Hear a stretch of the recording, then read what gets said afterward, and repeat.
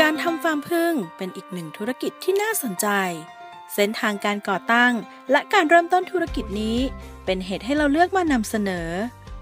ของฟาร์มพึ่งของเราก็จะเลี้ยงแบบเป็นเลี้ยงแบบพึ่งเป็นแบบชาวบ้านธรรมดาค่ะ คือจะเลี้ยง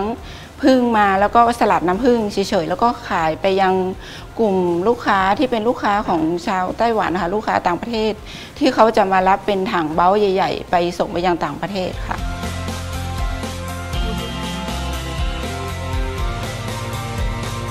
คุณบัญชา ผู้ซึ่งคลุกคลีอยู่ในวงการเลี้ยงพึ่งมานาน ได้อาศัยประสบการณ์ และความชำนาญ บุกเบิกธุรกิจแรกของครอบครัว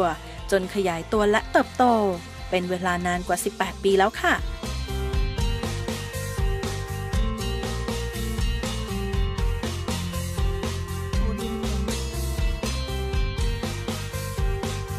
เราเลี้ยงเลี้ยงพึ่งตั้งแต่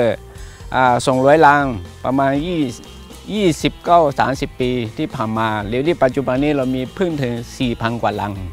เราเกตน้ำพึ่งเนี่ยไม่ใช่เกตไล่ตลอดทั้งปี เราเกตเป็นฤดูการตอนตอนตัวไม้โอนะ ถ้าตัวไม้ปันตัวนั้นอะเราก็จะได้เกตน้ำพึ่งเลยนะเราเกตน้ำพึ่งแต่ละครั้งจะเป็นฤดูตัวไม้ปังตอนนั้นเราจะมีประมาณอาทิตย์หนึ่งเลยส่งอาทิตย์เกครั้งหนึ่งอ่าลานหนึ่งเนี่ยจะได้ประมาณ 20กว่ากิโลตัวหลังพึ่งพึ่งตัวนี้ข้างบนเนี่ยจะเป็นอ่าน้ำพึ่ง ตัวนี้จะเป็นตัวพึ่ง ถ้าเมื่ออย่างนี้โรยอีประมาณสักห้าถึงหกวันออกมาจะเป็นตัวพึ่งไปเลยเดี๋ยวจะเป็นสีส้มเนี่ยจะเป็นเกสรพึ่งอยู่ข้างในนะแล้วทำมาอย่างนี้ถ้าขยายมาเรื่อยๆขยายมาเรื่อยๆมาถึงตัวนี้ ถึงฤดูเขตน้ำผึ้งเราก็มาเกณฑ์น้ำผึ้งเพราะว่าตัวนี้เป็นอ่าลินทางวาเราก็มาเกณฑ์น้ำผึ้งตัวไม้ป่า แต่ถ้าเป็นลืมมีนาเราก็เกณฑ์น้ำผึ้งตัวลันยาย กรมพาก็น้ำผึ้งตัวลิ้งจีอย่างนี้ครับ เพราะว่าน้ำผึ้งไม่สามารถเกณฑ์ได้ตลอดทั้งปี เกณฑ์เป็นระยะเวลาฤดูตัวไม้ปังแค่นั้นเอง คุณบัญชาเริ่มต้นธุรกิจฟาร์มพึ่งโดยการเลี้ยงพึ่งทั้งหมด 2,000 รัง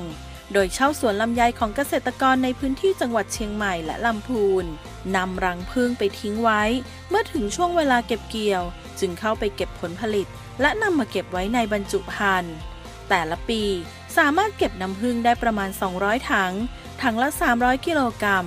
รวมได้ผลผลิตน้ำผึ้งปีละถึง 60 ตัน